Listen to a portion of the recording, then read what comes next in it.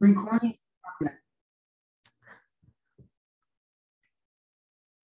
Isang magandang gabi po ang pinapabot ko sa lahat ng ating mga kapatid sa pananampalataya, sa lahat ng ating mga kaibigan kay Kristo Jesus.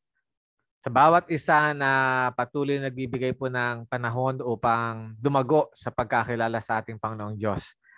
Uh, binabati ko po kayo ng Happy Sabbath, Shabbat Shalom. So ngayon po ay dadako na tayo sa panlimang araw na pinag-uusapan natin ang issue tungkol sa pagsisimula ng isang uh, tahanan. Ano po? Actually, ang usaping ito ay hindi po kayang tapusin ng limang araw. Tuloy-tuloy po tayo. Hindi pa nga natin pinag-uusapan talaga yung uh, may kinlaban sa pag-ibig. Ano po? Although, uh, God willing, ay talakayin natin yung love na yan. Ano po? Kasi napakagandang usapin niyang tungkol sa pag-ibig. Kasi lahat tayo ay uh, nagmahal, nagmamahal, at nagkaplanong magmahal. Ano po? Kaya magandang usapin yan. Alam niyo po sa Biblia ay merong uh, prinsipyo ng pag-ibig na binabanggit ang, ang uh, ating Panginoong Jesus. Ito po ang nakasulat sa Mateo 22:37 at 38. Nang sabi ng Panginoon ay kung ikaw ay magmamahal, ang sabi niya, ang pinakamataas na uri ng pagmamahal ay love the Lord, the Lord God with all your heart, with all your soul, and with all your mind. Ano po? And love your neighbor as yourself. Mapansin nyo, itong uh, pag-ibig rito ay napaka, kumbaga, napakalalim. In fact, itong mga talatang ito ay nagkapahayag ng, sabihin natin, uh, tatlong uri ng pag-ibig. The first commandment, which is foremost, ano po, ay yung tinatawag nating love for God. Yung pagmamahal sa Diyos. Na ang sabi rito, mahalin mo ang Diyos ng iyong buong puso, pag-iisip, at kaluluwa mo. Ang ibig sabihin, ang pagmamahal sa Diyos ay kabuuan. Ano po? Uh, it's the total persona. Ayan. Yung buong pagkatao natin. Kung magmamahal tayo sa Diyos, hindi a fraction of ourselves, kundi yung buong pagkatao natin, kasama ang isip, kasama ang puso, kasama ang kaluluwa, ang kaluluwa pertaining to the whole life. Ano po? At ang sabi rito, the second uh, greatest commandment or the second great commandment ay hindi tawag nating pagmamahal sa ating kapwa. Nang sabi ay, love your neighbor as you love yourself. So basically, love God, love your neighbor, and love yourself. So rito binibigyan ng diin ng Panginoon na relationship matters in in heaven's eyes, no? In God's eyes, relationship uh, are important, ano po? Kaya nga kinakailangan ay pangalagaan natin yung mga relasyon natin na meron na tayo, maging ito ay pag-aasawa, pagkikipagkaibigan, o magkisimula ka pa lang magkaroon ng kaibigan o special friend. At syempre, importante rin na makita mo yung iyong relasyon sa iyong sarili. Yung pagmamahal sa sarili, importante rin po yan. Ano po? Kaya nga, dito, makikita nyo ang greatest commandment, love God. The second uh, greatest commandment is love your neighbor as you love yourself. Okay, tuloy tayo. Alam niyo ba na sa Greek uh, perspective ay maraming uri ang pag-ibig. Sa atin o sa English, ang pag-ibig ay parang isa lang. Ano po? For example, sinasabi mo sa asawa, mahal mo asawa mo. Pagkaibigan, I love my friend. Pero nagpunta ka sa isang place, I love this place. O pag kumain ka ng ice cream, I love ice cream. Ano po? O pag ikaw ay may sasakyan, I love this car. So we only use one word, itong word na love. Pero alam niyo po, sa Greek perspective, sa Greek mentality, ang salitang pag-ibig ay nabigyan nila ng iba't ibang uri ng connotation. Ano po? Eh tayo nga, alam natin, tatlo lamang eh. Agape, philia, saka eros. Ito malimit natin ginagamit. Na pag sinabing agape, ito ay divine love, the love that comes from heaven, unconditional, sacrificial, unselfish. Agape yon. Pag sinabi namang philia, ito yung uh, love for the family. Sabihin natin, o love sa relationship o love sa friends, ano po, na halos related sa istorhe.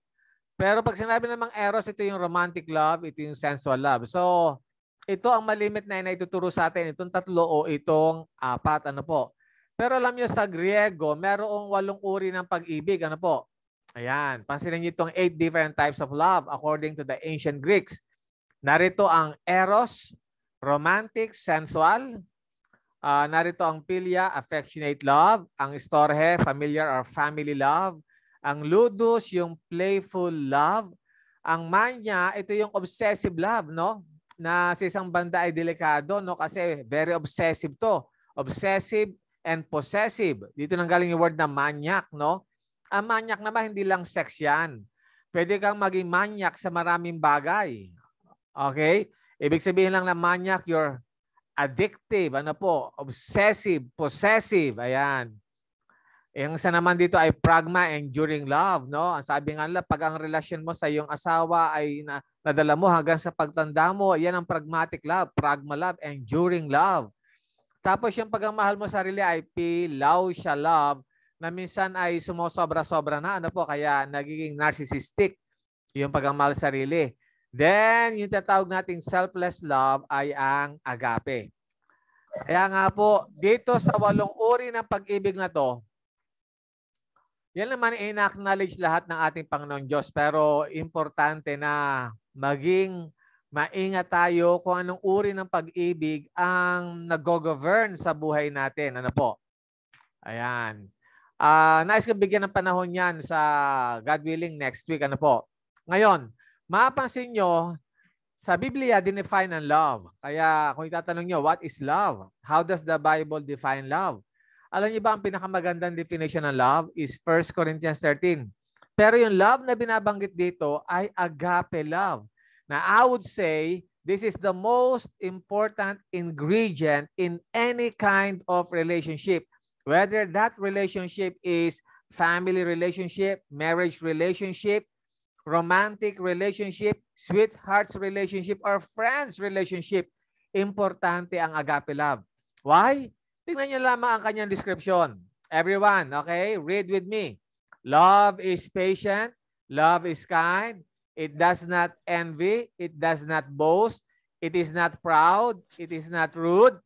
It is not self-seeking. It is not easily angered. It keeps no record of wrongs. Love does not delight in evil, but rejoices with the truth. It always protects, always trusts, always hopes, always persevere. Love never fails. At kung itutuloy mo pa yung pagbasa ng love sa 1 Corinthians 13, ay uh, na nakalagay doon na love bears, di ba? Love hopes. Love, kumbaga, love uh, perseveres, ano po, or it never fails, no? Ayan, nabanggit na nga rito, no? Kaya nga, uh, napakaganda ng pag-ibig na to. At alam niyo ba, ang ginamit na love dito sa Griego, hindi yan eros, ni hindi yan phileo o estorhe.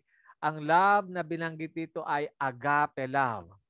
Kaya nga po, pag pinag-uusapan ang pag-ibig sa Biblia, lalo na sa context ng relationship, well, ang malimit na binabanggit dito ng Diyos through His disciples and apostles, especially through Jesus Christ, ay ang tinatawag nating agape. Ayan. Ang sabi sa isang katanungan, importante ba ang pag-ibig? Is love important in, in a relationship? Well, ang sabi rito sa Proverbs 31, 10 to 11, a wife of noble character who can find. She is worth far more than rubies. Her husband has full confidence in her and lacks nothing of value. Ang sabi rito sa sa side dito sa kabila ay having a loving spouse is the best gift of all that comes from God. And if they trust in each other with all of their heart, they'll have a happy, satisfying life. Kaya uh, kung tatanungin niyo po ang Biblia, importante ang love sa isang relationship. At alam niyo ba, ang love na tinutukoy dito, hindi ito eros, no? hindi ito peleo istorhe. Ang love na malimit tinutukoy sa Biblia ay ang agape. Ayan, kagaya nito. Bakit importante ang love sa isang relationship? Ano po? If you want to sustain your relationship, importante meron kang ganitong uring love kasi it's it's one thing to fall in love But it is another thing to stay in love. Yung love na tinutukoy dito na it's wanting to fall in love ay eros ang pinag-uusapan dyan, no? Pero if you want to maintain your romantic love, your, sabihin natin, familial love or story, story love or pileo love, kung gusto mo masustain yan, ang kinakailangan mo ay ang agape love. Bakit? Kasi ang sabi dito, above all, love each other deeply. Because love covers over a multitude of sin. Alam niyo ba yung pag-ibig na nagpapatawad? Pag-ibig na kumakalinga. Pag-ibig na umuunawa. Pag-ibig na humahaba ang pasensya. Pag-ibig na nagbibigay ng second chance, third chance, and a multitude of chances. Pag-ibig na overlooks, kumbaga hindi lang sins, kundi overlooks flaws. Ano po? Kasi lahat naman tayo may mga flaws. Ayan, ito yung tinatawag nating agape love. The good news is love each other honestly and earnestly even when she or he fails and disappoints you. Forgiveness is is a key, you know? And let your love shines the brightest in the darkest moments in your relationship. Makikita mo kung anong uri ng pag-ibig meron ka pag dumating sa point ng relationship nyo, yung darkest are, yung most difficult moments, no? Yung mga panahon na nagkaroon ng tinatawag nating betrayal, dito lumalabas kung anong uri ng pag-ibig meron ka eh. Kung ikaw ay magkapatawad o hindi. Kung magpapatawad ka by, by God's grace and mercy, it is what? It is agape love. Kasi ang eros, hindi yan nagpapatawad. Ang istorhe, hindi yan nagpapatawad. Ang phileo, hindi nagpapatawad. Bagamat they are very, very affectionate, very, very supportive kind of love. The love that forgives, the love that overlooks offenses is agape love. Okay? Pwede ba natin sabihin lahat? Agape love. Ayan, di ba? Kaya nga pag nagkamali ang mahal mo sa buhay, ang sabihin mo sa kanya, I agape you so much, no? At para sabihin mo yung I agape you so much, it takes a lot of faith, a lot of grace and mercy from God. Kaya napaka-importante ng agape. Ito, pansinin niyo itong salitang ito. Ang sabi sa Colossians 3.19, Husbands, love your wives and do not be harsh with them. Sabi mga asawang lalaki, mahalin niyo ang inyong asawa. At huwag kayong maging, kumbaga, maging uh, harsh o maging malupit o maging bastos o maging uh, magaspang sa kanila. Yan. Uh, kumbaga, sinasabi ng Biblia na erespeto nyo yung inyong asawa. Alam niyo ba ang ginamit na love dito? Hindi to eros. Hindi to phileo. Hindi to storhe. Ang ginamit na love dito ay, again, agape love. Agape na naman. The Bible keeps it simple. Love one another and be kind. Marriage was not meant to be difficult. Well, ang pag-aasawa, binigay yan ng Panginoon para mag-enjoy tayo. Ang, ang laki ang bonus niyan eh.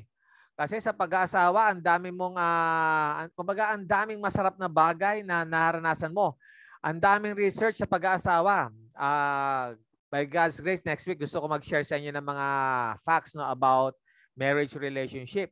Ang sabi nga nila, kung gusto niyo magkaroon ng ipon, mag-asawa kayo. Di ba? Isang benefit yun. Kung gusto niyo uh, Mapalapit kayo sa kayamanan ang sabi doon na Christian, kumbaga, Christian, uh, sabihin natin, prosperity. Ang sabi doon, mag-asawa kayo. Eh syempre, kagaya ng pinag-aralan kagabi, ay mag-asawa kayo ng masipag, no?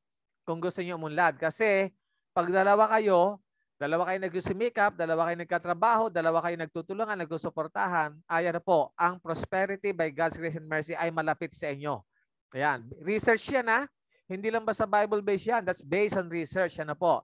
Kung gusto niyo humaba ang buhay niyo, mag-asawa rin kayo, sabi nila. Kasi ang pag-aasawa ay nagpapahaba ng buhay yan. Siyempre, marami ring, uh, marami ring umikli ang buhay nang dahil sa pag-asawa kasi ang naging asawa yan, no? Eh, naging asawa ay uh, violente, no? agresibo. Baka naging asawa ay imbis na bigyan ka ng peace of mind, binigyan ka ng mental torture. Kaya ang sabi ko sa inyo kagabi, ang sabi rin sa quote, Be careful in choosing a life partner because when you choose your life partner, okay, selecting uh, a soulmate or life partner involves mental health. It involves happiness. It involves uh, a lot of things, even misery, di ba? Misery and sabi natin, anxiety and depression. Kaya nga yung magiging asawa mo, partner mo, eh, nakasalalay dyan ng maraming bagay. Sabi nga ng isang author, di ba? 90% of your happiness is dependent on your wife or on your husband or on your partner. Kaya nga, importante yan. Ano po? Well, kung sakaling naranasan nyo to at hindi naging maganda ang outcome ng your relationship, hindi pa huli ang lahat, no? Uh, ang Diyos ay napakabuti. Mahal tayo ng Diyos. Ayan. Kaya kung hindi man tayo naging successful sa isang lalaki o sa isang babae, eh maging uh, successful ang ating relationship with the Father in heaven through Christ Jesus. Amen? Amen. 'Di ba? Kasi ang relationship naman dito sa lupa ay talagang earthly lang 'yan. Eh sa langit naman eh magiging ano tayo para na tayo mga anghel, 'yun ang sabi, 'di ba? ng Biblia. Okay, next. Then uh, then the Lord God said it is not good that man should be alone. I will make him a helper fit for him. Genesis 2:18. Kaya nga I would say na plano talaga ng Diyos na magkaroon tayo ng partner. That's the, sabi natin, that's, that's divine, no? Pero hindi naman ibig sabihin na na dinedemand tayo o minamandate tayo ng Panginoon na dapat mag-asawa ka. Hindi. Ang sabi nga ni Paul sa kanyang sulat sa 1 Corinthians, ang sabi niya roon, kung nagkakamali sa 1 Corinthians 7, ang sabi niya roon, kung kaya mo hindi mag-asawa, huwag kang mag-asawa. Pero if you burn in lust, ang sabi niya roon, then you might as well find a partner and get married. Ang sabi doon, kung kaya mo hindi mag-asawa at maglingkod ka na lamang sa Diyos, yung buhay mo nakafocus sa Panginoon, wow, praise the Lord, do it! Di ba? Pero kung ikaw naman ay, uh, kumbaga, burn in lust, ibig sabihin kung ikaw ay hindi makatiis, so ang, ang salitang ginamit ng Ibaron ay ikaw ay merong uh, pag-iinit ng katawan o ikaw ay may kalibugan, sabihin natin. Eh, imbes na ikaw ay magkamali, magkasala, ay mag-asawa ka na lang. Ayan, yan ang payo ng Biblia sa atin, no? Pag-usapan natin yan next time. Kaya nga, most of us are meant to live our lives with a partner by our side. Ayan, di ba? God made Adam and Eve as an example for humankind to follow. And if we follow in their footsteps, we'll, we'll, we'll have a happy life with someone to share it with. Bagamat plano ng Diyos ang pag-asawa, pero alam niyo, maraming anak ang Diyos na hindi nag-asawa. Mismo ang ating Panginoon Kristo, wala siyang asawa, di ba? Eh, siya ang master natin. Focus siya sa ministry. Si Paul, si Saul, hindi, wala nga siyang asawa, di ba? Focus siya sa ministry. Kaya nga maraming apostoles o disciples ang hindi nag-asawa, nakafocus sa ministry. Kaya nga, ang importante, kung hindi ka mag-aasawa at iyong kinumit ang buhay mo sa Panginoon, eh hilingin natin sa Diyos ang tinatawag nating temperance o self-control. Kasi pag hindi, baka magkasala tayo ng ikasampung utos. Ano ba yung nakasulat sa Ten Commandment? Thou shalt not covet. Alam niyo ba ang ibig sabihin ng covet doon sa Hebrew at maging sa Greek? Yung word na covet doon, ang salita doon ay thou shalt not lust. Ayan. Thou shalt not lust thy neighbor's house, thy neighbor's wife, thy neighbor's servant, maid servant, thy neighbor's cattle. Huwag kang maglalas. Kaya ang sabi ni Jesus, uh, huwag kang mag-iisip sa isip mo ng ano, ng last after a woman. Kasi pag ginawa mo, nagkasala ka na sa isip. Kasi ang adultery, ang murder, and all kinds of sin na nakasulat sa Ten Commandments, they all begin in the mind. Lasting, lasting begins in the mind. Ano po? Kaya nga, uh, kung by God's grace and mercy, eh, you don't last, no? Nagkakaroon ka ng self-control, kaya mong to remain single, at ibuhos mo ang buhay mo sa paglilingkod sa Panginoon at paglilingkod sa kapwa mo, sa pamilya mo. Wow, that's praise the Lord. That's amen. That's awesome. ba? Uh, gawin mo 'yan. Pero kung sakaling hindi mo kaya, eh hindi ka rin naman nagkamali o nagkasala. Kasi sabi ng Bible, ay dinesign ko ang family, dinesign ko ang marriage relationship, dinesign ko si Adam for Eve and Eve for Adam, male-female relationship. Ah, and that's also amazing. Amen? Amen, di ba? O, tuloy tayo. Ang sabi rito sa Ephesians 4.13, I, therefore, a prisoner for the Lord, urge you to walk in a manner worthy of the calling to which you have been called. So, anong calling ang tinawag sa atin ng Panginoon sa relationship? Calling of humility and gentleness. With patience, bearing with one another. Ah, agape love eager to maintain the unity of the Spirit in the band of peace. Ito ang magandang mga mga ingredients or sangkap ng isang relationship. At pag sinabi ko relationship, hindi lang to marriage relationship, hindi lang to boy-girl relationship, kundi kasama rito ang boyfriend sa girlfriend. Kinakailangan ang magkasintahan ay Merong, kumbaga, you have to clothe yourself with humility. Clothe yourselves with gentleness. Clothe yourselves with patience, no? Alam niyo ba yung word na patience dito? Ibig sabihin eh, uh, handa ka magtiis, no? Huwag mo mamadaliin. Next week, when we talk about love, we will differentiate the meaning ng tinatawag nating uh, are you in love or are, are you in lust, no? Yan. Kasi pwede namang hindi ka love, in love, ikaw ay in lust lang, di ba? Kaya nga kinakailangan maging maingat tayo dito. Gusto ng Panginoon na maunawaan natin ang mga bagay na to. Well, ang sabi rito, in any relationship in our lives, romantic, friendship, family, etc., through the Holy Spirit, we can or we would be humble. Yan. Uh, we should be, uh, we would be humble, okay? Patient, kind, and eager to listen. Yan ang maganda sa isang relationship. Okay, next. Ayan. Naglagay ako rito ng three kinds of prayers, no? As our, our closing. Ayan. Ito yung tatawag nating prayer for relationship, a prayer for direction. Okay, tayong lahat ha, mag-pray tayo ha. Father, navigating life is difficult. Even more difficult is navigating a relationship. Lord, you know the complexities of my relationship. There are so many emotions invested. Feelings are everywhere. I pray for some clarity and discernment. I ask that you would clear up for me all questions Remove the emotional baggage and help me to know which path to take. Amen. Wow. Ito yung mga lalaki at babae na you are contemplating for a serious kind of relationship. Ipag-pray mo sa Panginoon yan. Kagaya ng sabi rito, navigating, di ba? A relationship is difficult. Lalo na pag ang dami mong pagpipilian. Ayan. You have to be what? You have to be completely dependent on God's guidance and instructions at hindi naman nagkamali ang Panginoon. Ito, na, gustong gusto ko to. Remove the emotional baggage and help me to know which path to take, no? Huwag kayong makikipagrelasyon na kaya ka makikipagrelasyon kasi galit ka sa tatay at nanay mo. Maka, makaalis na nga rito, galit ako kay tatay at nanay, mag-aasawa na ako. Mahirap yon. Huwag kang papasok sa isang relationship kasi meron kang emotional baggage, no? Kasi magkakaproblema ka. Uh, may mga cases na ganyan uh, nakipagrelasyon, galit sa nanay. Yung galit niya sa nanay ay kanyang ibinaling sa kanyang asawa. Eh, ang nanay niya gusto niya sabunutan. Eh, sinabunutan niya asawa niya. Yung nanay niya gusto niyang sampalin. Sinampal niya tuloy ang asawa. So tuwing ang ayaw niya kasi nanay niya, nager. Okay, madaldal. Eh, nakapag-asawa rin siya ng nager at madaldal. So yung nanay niya, hindi niya masampal, hindi niya masabunutan. So anong ginawa niya?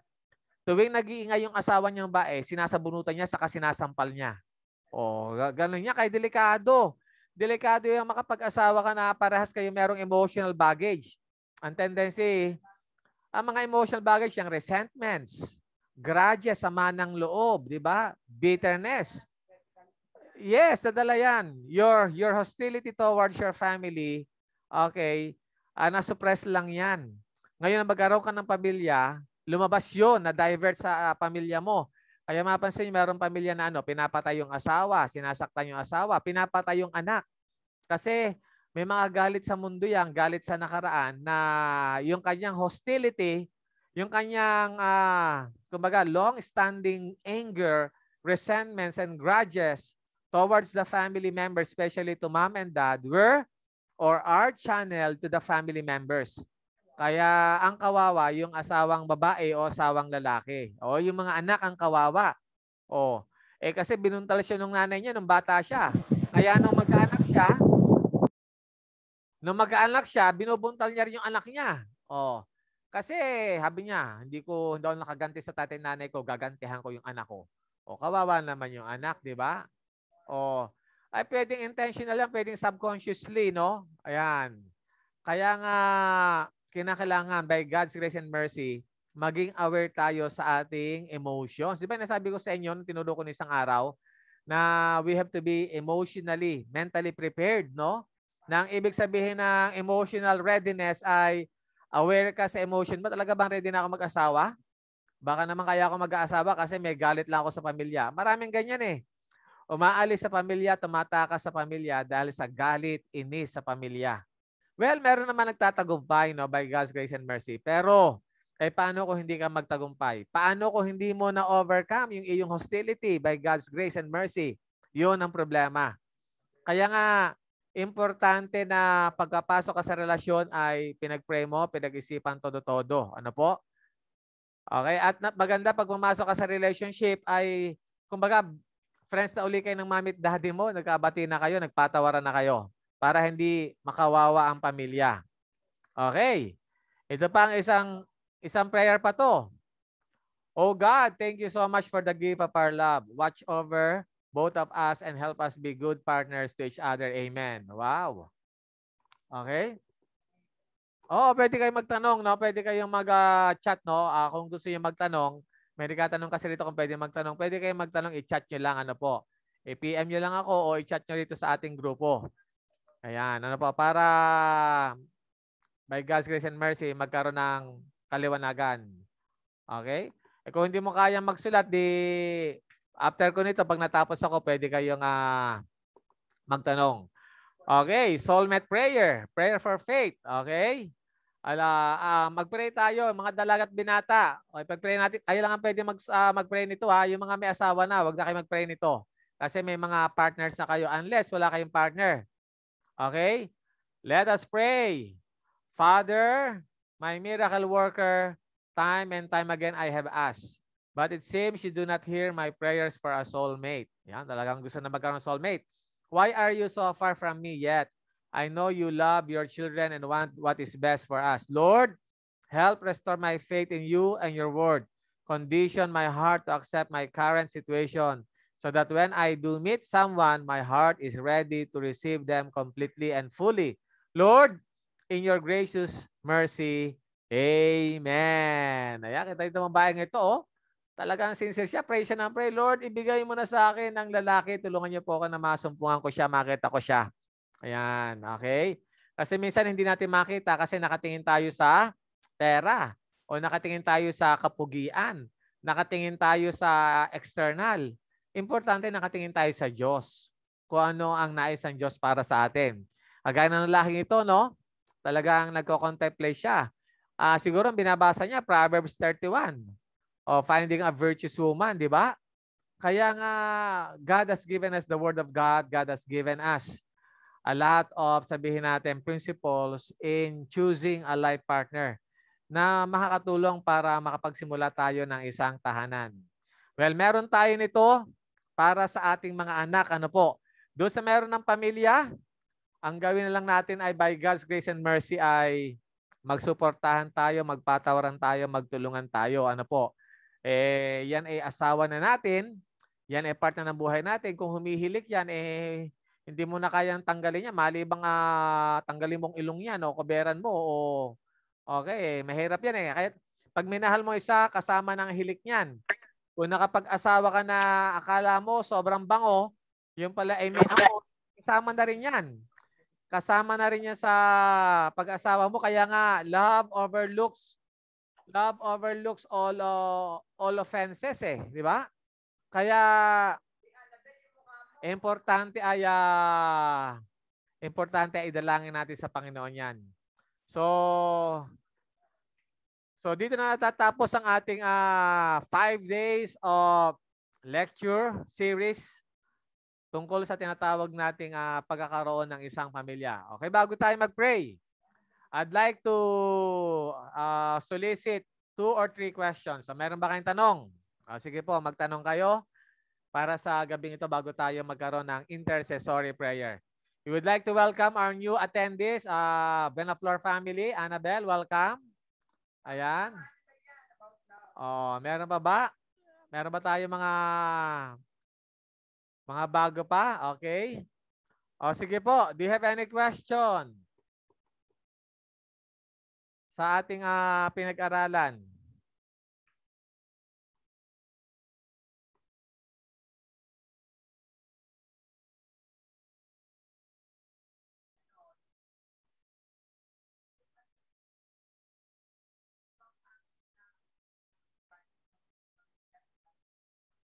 Oh, ang tanong rito, yung bang pangit na ugali ng magulang ay pwede rin makita sa anak? Of course, pwede po kasi ang template ng mga bata ang nanay eh. Ayan. For example, kung lumaki ka sa tahanan na panay galit, panay puot, pag ikaw nagkaroon ng pamilya, pwede mo rin madala yan. Minsan hindi mo alam, nadadala mo na pala.